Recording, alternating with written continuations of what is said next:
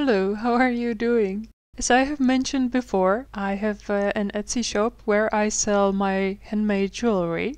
Some of them are made out of polymer clay and some of them are made out of epoxy resin. And today I would like to share with you how I make my resin pieces. I like to use dried moss and mushrooms, so let's see how it turns out. It's a relatively new hobby of mine, and I've been gathering the materials and tools for the past year. Here you can see the tools I'm using.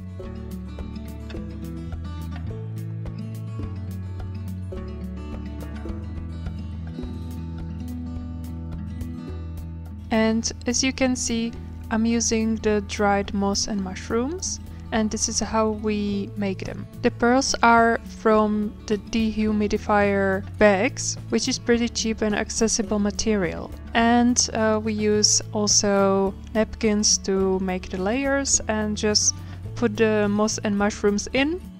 And that's it. After a few days they're completely dry and perfect to use.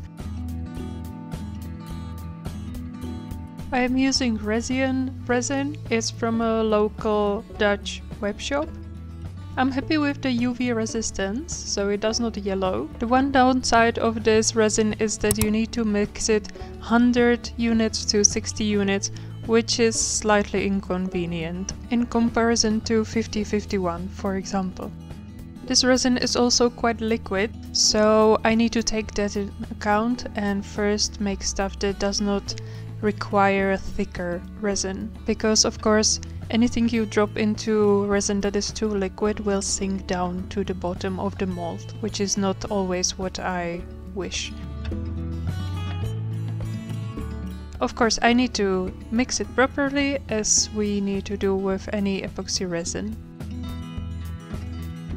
And straight to the first piece, I'm trying to insert a little twig of dried heather it's slightly tricky because the heather falls apart when it's dry, but I wanted to try. And you know, it's always good to experiment because sometimes you may think it's not going to turn out well, but in the end it does because resin can be quite unpredictable sometimes.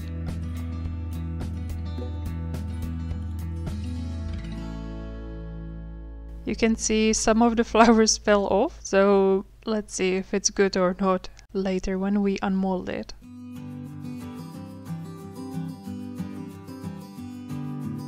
I'm filling in more resin and then I thought I would put some moss on the top or like it will be the bottom so it looks like it's growing from the moss.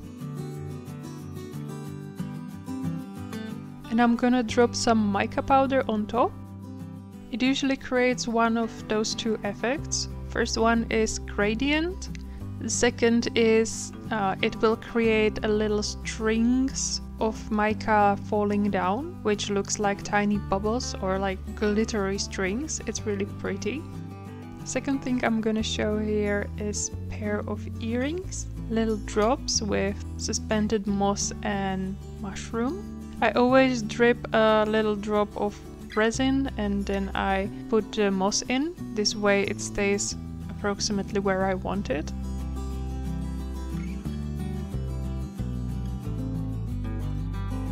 Now another drop to fill it a bit more in. And now I'm adding the mushroom. These are coral fungi.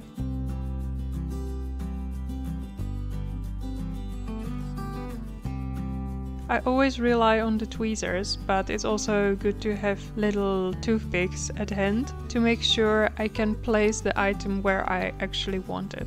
Sometimes I need to reorganize, of course.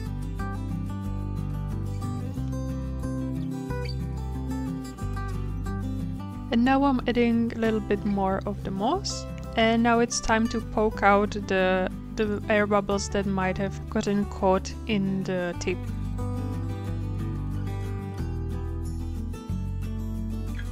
Fill it in completely and I'm, I'm popping the bubbles with fire and that's it.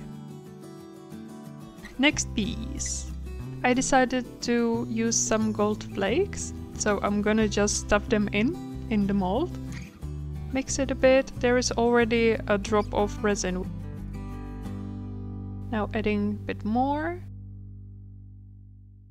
Pokey poke.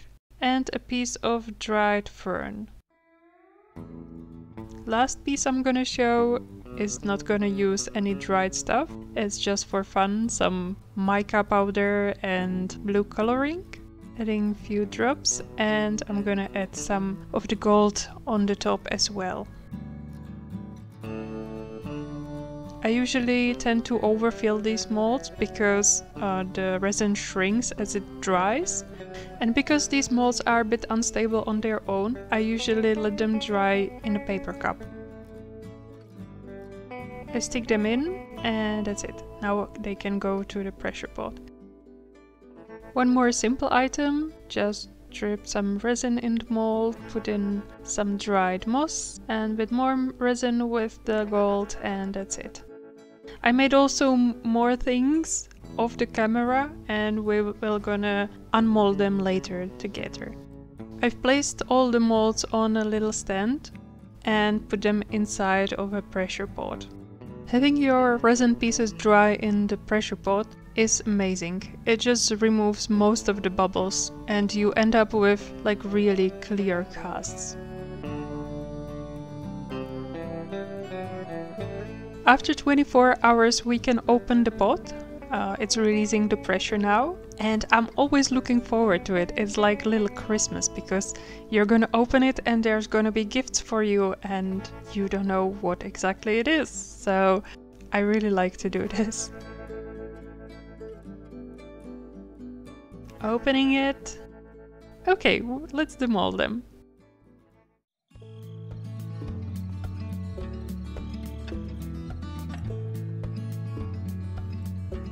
Ooh, I really like this, with the green and the sparkles. You can't see it now, but I will show photos later. These are the earrings. You can see there's a lip, but we're gonna do something about it.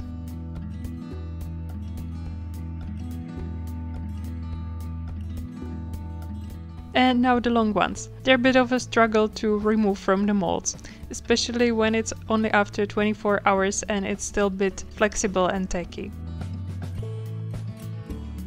Okay, so this one turned out okay-ish.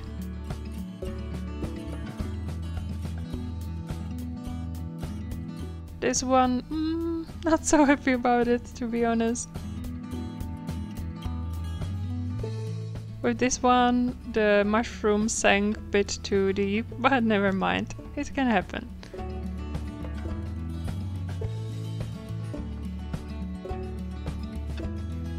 Okay, now the blue one. And oh yeah, that one is pretty. I'm happy about it. I made also some little cabochons for stud earrings. And every time I pour the leftover resin into some random mold, usually the beads, and then I make experiments with them. Okay, so our pieces are hard, but not too hard, so we can still cut down and adjust the pieces. And we can also install the little hooks that need to be screwed in, which is quite hard to do when the resin gets completely solid. It happened to me a couple times that I just broke it off.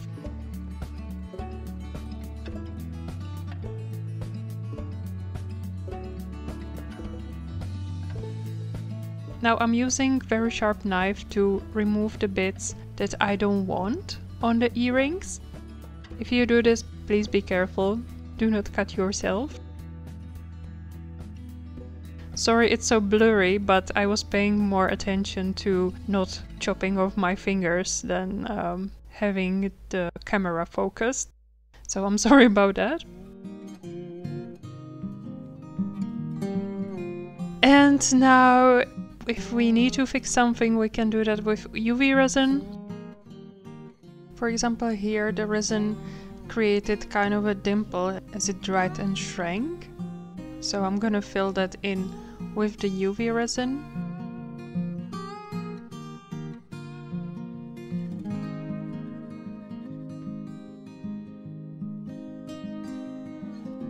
I use a toothpick to spread it out very carefully so it does not drip on the sides of the pendant.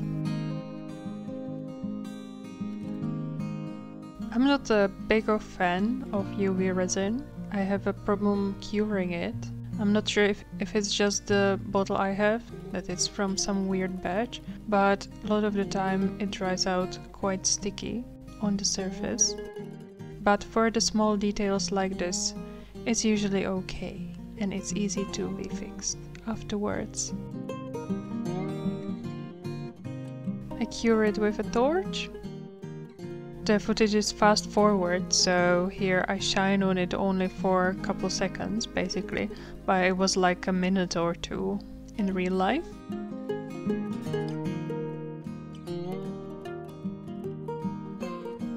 And now onto the earrings. For these I need to send them down. I use about 6 grades of sanding paper, but I'm not gonna bore you with that. And the final is this scratch remover to polish it. Actually with this pair of earrings something went wrong as I was sanding it and what happened is that I opened one of the plants so I tried to fix it by applying layer of UV resin. But as I said, sometimes it gets really sticky and that's what happened too. And I tried to remove the sticky layer with isopropyl alcohol, but it really did not help. I messed it up. So I need to work a bit more on this pair. And here we have the final batch you can see the results. I think it's okay. Some of them turned out not as I wanted them, but some of them turned out really good, like the green ones with the little sparkly pieces of mica in it. I think those are quite pretty.